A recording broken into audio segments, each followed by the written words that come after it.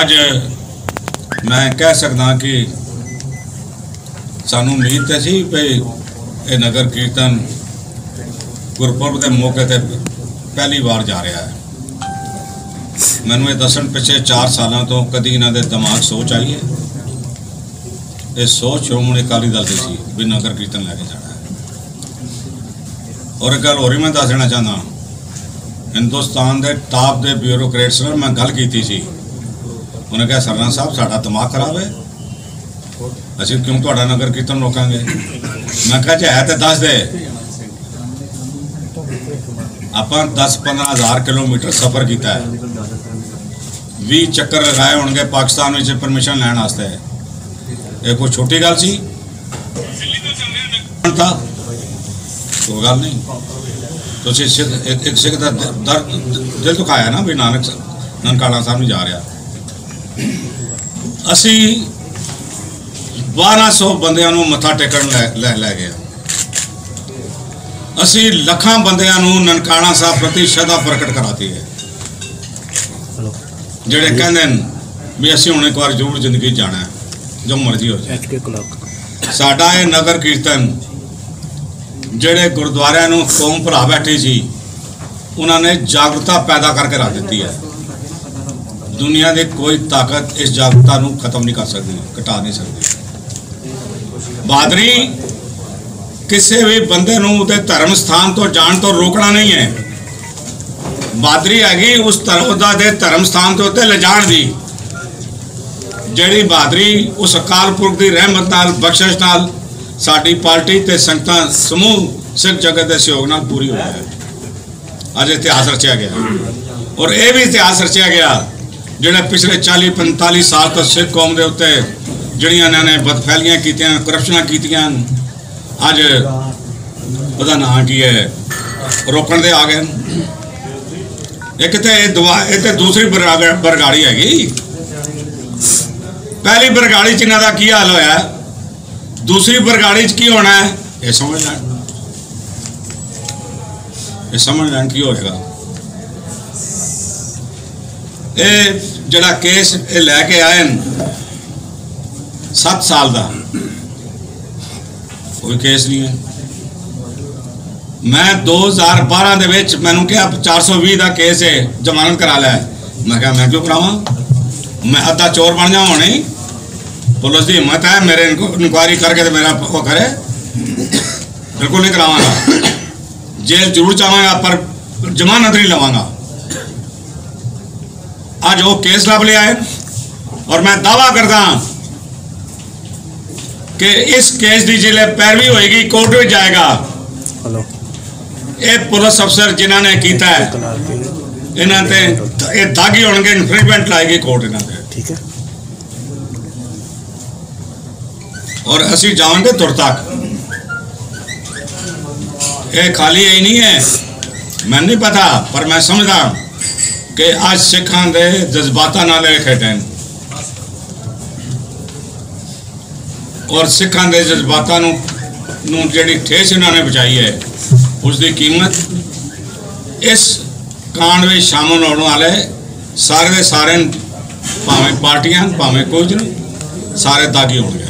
ਮੈਂ home minister ਨੂੰ telephone ਕੀਤੀ ਇੱਕ ਵਜੇ ਨਾਲ।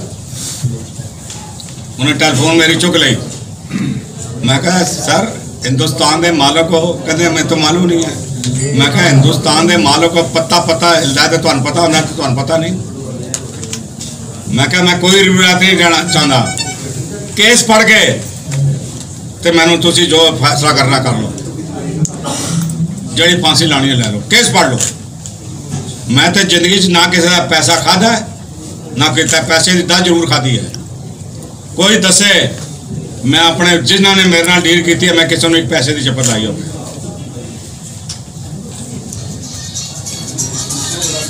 ਔਰ 150 ਸਾਲ ਦਾ ਇਤਿਹਾਸ ਪੌਣੇ 200 ਸਾਲ ਦਾ ਇਤਿਹਾਸ ਹੈਗਾ ਮੇਰੇ ਕੋਲ ਆਪਣੇ ਦਾਦੇ ਪੜਦਾਦੇ ਦਾ ਲੱਕੜ ਦਾਦੇ ਦਾ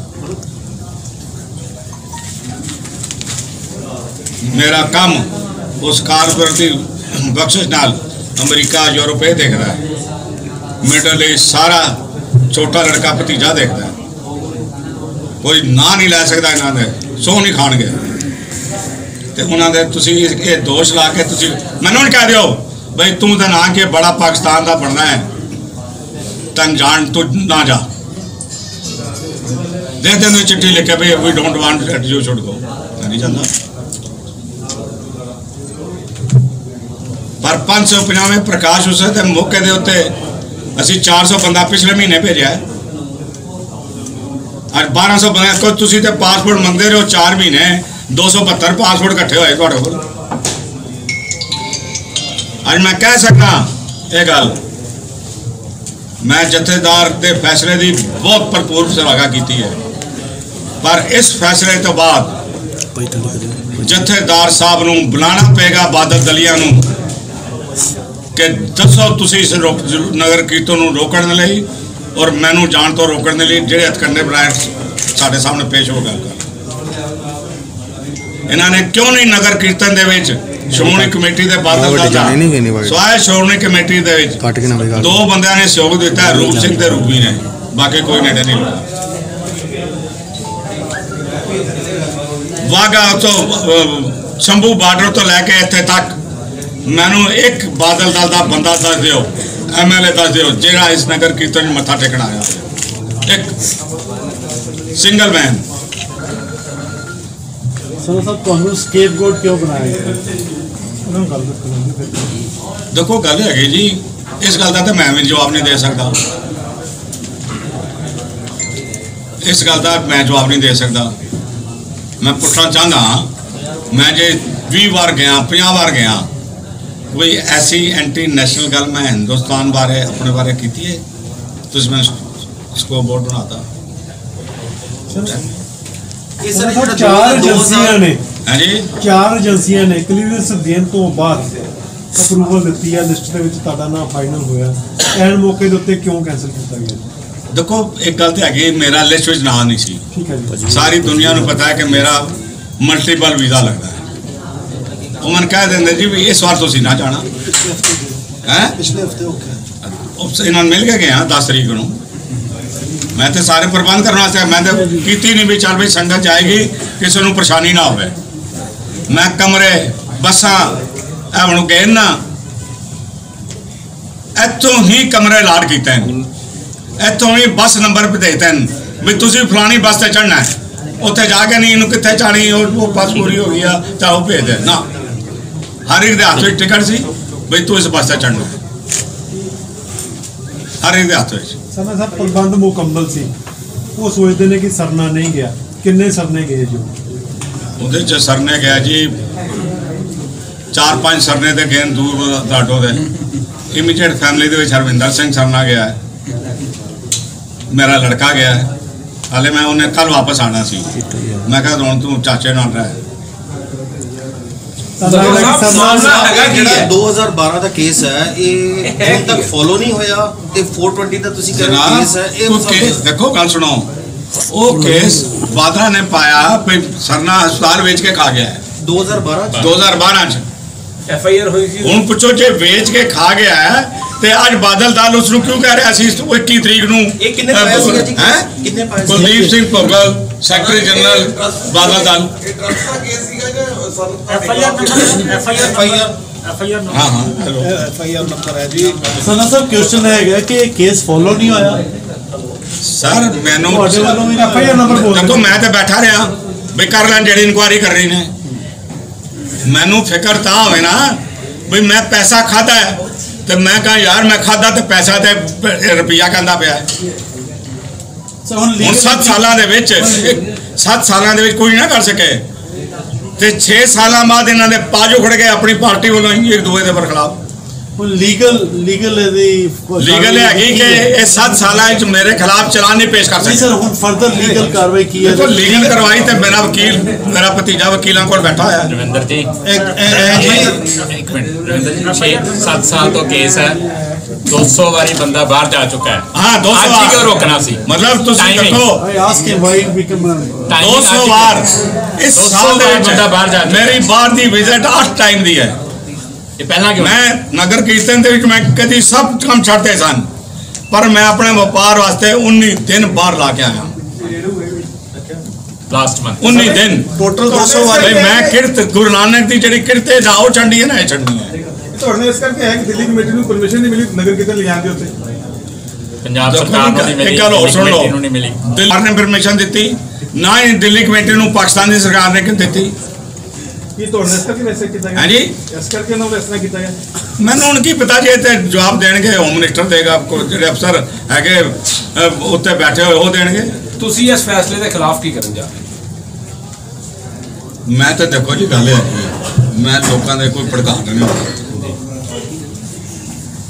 ਵਕਤ ਆਏਗਾ ਅਗਰ ਜਵਾਬ ਦਿਆਂਗਾ ਕੋਰਟ ਬਹਾਲੀ ਕਰਾਵਾਂਗਾ ਉਹਨਾਂ ਨੇ ਕਿਹਾ ਕਿ ਲੁੱਕ ਆਊਟ ਨੋਟਿਸ ਜਾਰੀ ਕੀਤਾ ਹੈ ਜ਼ਮਾਨਤ ਕਰਾਓ ਤੇ। ਮੈਂ ਤਾਂ ਕਰਾਣੀ ਨਹੀਂ ਉਹਨੇ ਜ਼ਮਾਨਤ ਵਾਪਸ ਕੀਤੀ ਮੈਂ 7 ਸਾਲ ਦੀ ਜ਼ਮਾਨਤ ਕਰਾਈ ਤੇ ਹੁਣ ਕਰਾਵਾਂਗਾ। ਜੋ ਹੁਣ ਕਹਿ ਰਹੇ ਉਨਕਾ ਯਾਰ ਯਾਰ ਚੁੱਕੇ ਮੈਂ ਅੰਦਰ ਕਰ ਦੇਣਾ ਯਾਰ ਕੀ ਹੈ? ਜਿਵੇਂ ਬਾਕੀਆਂ ਨੂੰ ਕੀਤਾ ਨੇ ਮਨ ਕਰ ਦੇਣ ਕਰ ਦੇਣ ਸੋ ਕੱਲੇ ਇਹਨਾਂ ਨੂੰ ਕੀਤਾ ਇਹ ਕਰਨ ਜਿਸ ਦਿਨ ਮੈਨੂੰ ਗ੍ਰਿਫਤਾਰ ਕਰਨਗੇ ਬਾਦਲ ਆਪਣੀ ਕਬਰ ਦੇ ਉੱਤੇ ਆਖਰੀ ਕਿਰਕ ਮਾਰੇਗਾ। ਇਹ ਮੈਂ ਦੱਸ ਦਿਆ ਬਸ।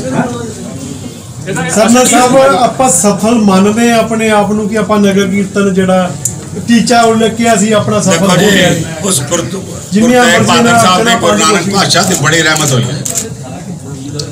ਇਹ ਨਗਰ ਕੀਰਤਨ ਹਰ ਤਰ੍ਹਾਂ ਨਾਲ ਸਫਲ ਗਿਆ ਹੈ। ਔਰ ਮੈਨੂੰ ਨਹੀਂ ਪਤਾ ਮੈਂ ਤੇ ਕੋਈ ਨਾ ਕੋਈ ਅਖਬਾਰ ਪੜ੍ਹ ਸਕਿਆ ਤਿੰਨ ਦਿਨ ਚਾਰ ਦਿਨ ਨਾ ਮੈਂ ਟੀਵੀ ਦੇਖ ਸਕਿਆ। ਜਿਹੜੇ ਵੱਡੇ ਟੀਵੀ ਸਨ ਉਹਨਾਂ ਦੇ ਬਾਈਕਾਟ ਕੀਤਾ ਹੋਇਆ ਸੀ। ਨਾ ਮੈਂ ਉੱਤੇ ਜੀ ਦੇਖਿਆ ਨਾ ਪੀਟੀਸੀ ਵੇਖਿਆ ਨਾ ਹੋਰ ਵੇਖੇ ਕੱਲ ਰਾਬਨ ਜੀ ਆਏ ਹੋਏ ਸਨ ਪਰਸੋਂ ਮਹੀਨਾ ਦਾ ਬੰਦਾ ਆਇਆ ਸੀ। ਸਾਨੂੰ ਤੇ ਸੋਸ਼ਲ ਮੀਡੀਆ ਨੇ ਜਿਹੜਾ ਇਹ ਕਵਰ ਕੀਤਾ ਨਗਰ ਕੀਰਤਨ ਇਸ ਨੇ ਦੁਨੀਆ ਭਰ ਦੇ ਸਿੱਖਾਂ ਦੇ ਘਰ ਘਰ ਵੀ ਪਹੁੰਚਾਤਾ। ਹੈ ਔਰ ਉੱਥੇ ਜਿਹੜੇ ਟੀਵੀ ਵਾਲਾ ਕਵਰ ਕਰ ਰਿਹਾ ਸੀ ਕਪੂਰਥਲਾ 'ਚ, ਉਸਨੇ ਮੇਰੇ ਕੋਲ ਪੁੱਛਿਆ ਤੇ ਮੇਰੇ ਬਾਹਰ ਜਿਹੜੀ ਕਿ ਲੇਡੀਜ਼ ਖੜੀ ਸੀ ਆਮ ਸਧਾਰਨ, ਉਹਨੇ ਕਿਹਾ ਕੀ ਗੱਲਾਂ ਕਰਦੇ ਹੋ? ਇੱਥੇ ਗੁਰੂ ਨਾਨਕ ਆਪ ਇਸ ਵਕਤ ਹਾਜ਼ਰ ਹੈਗਾ, ਜਿਹੜਾ ਇਸ ਨਗਰ ਕੀਰਤਨ ਦੀ ਅਗਵਾਈ ਕਰ ਰਿਹਾ ਹੈ। ਆਪ ਹਾਜ਼ਰ ਹੈ ਅੱਛਾ ਕਿੰਨਿਆਂ ਦਾ ਕਿੰਨਿਆਂ ਦਾ ਕਿੰਨਿਆਂ ਦਾ ਕਿੰਨਿਆਂ ਦਾ ਜੱਥਾ ਗਿਆ ਹੈ ਜੀ ਤੇ ਜਿਹੜਾ ਦੇਖੋ ਜੀ ਪਾਲਕੀ ਸਾਹਿਬ ਹੈ, ਉਹ ਕਿੱਦਾਂ 70 ਉਹ ਕਿੱਦਾਂ ਫੈਰੀ ਕਰ ਸਾਡੇ 90 ਬੰਦੇ ਤੇ ਕ੍ਰਾਸ ਕਰ ਗਏ ਸਨ। ਅਸੀਂ ਉੱਥੋਂ 2:05 ਮਿੰਟ ਤੇ ਚੱਲੇ ਆ ਉਸ ਵਕਤ ਤੱਕ 1100 ਤੋਂ ਉੱਪਰ ਬੰਦੇ ਕ੍ਰਾਸ ਕਰ ਗਏ। ਕਰਕੇ ਸਾਰੇ ਸਾਰੇ। ਫਰਦਰ ਇਹ ਹੁਣ ਪਾਲਕੀ ਸਾਡਾ ਸਾਹਿਬ ਨੂੰ ਕੀ ਕਿੱਦਾਂ plan ਫੈਰੀ ਹੈ? ਕਰਕੇ ਲੈ ਕੇ ਗਏ? ਮੋਢੇ। ਪਾਲਕੀ ਸਾਹਿਬ ਅਸੀਂ ਖੋਲ ਮੋਢੇ- ਮੋਢੇ। ਅਸੀਂ ਤਿਆਰੀ ਸੀ। ਅਸੀਂ ਖੋਲ ਕੇ 400 ਕਿਲੋ ਵਜ਼ਨ ਜੀ ਸਾਡੇ ਨੌਜਵਾਨ ਖੜੇ ਸਨ। ਔਰ ਪਾਲਕੀ ਦਾ ਜੋ ਆਨਰ ਪੰਜਾਬ ਸਰਕਾਰ ਨੇ ਕੀਤਾ ਹੈ hats off to them next ਤੁਹਾਡਾ ਕੀ ਪਲਾਨ ਹੈ? ਜੀ ਹੁਣ ਤੁਸੀਂ ਉਹਨੂੰ ਆਪਣੀ ਲੀਗਲ ਇੰਪਲੀਕੇਸ਼ਨ ਜਿਹੜੀਆਂ ਉਹ ਦੇਖੋ ਲੀਗਲ ਤਾਂ ਮੈਂ ਜਾਵਾਂਗਾ ਹੀ ਜਾਵਾਂਗਾ। ਇਹ ਨਹੀਂ ਹੈਗਾ। ਮੈਂ ਉਹਦਾ ਨਾਂ ਕੀ ਹੈ?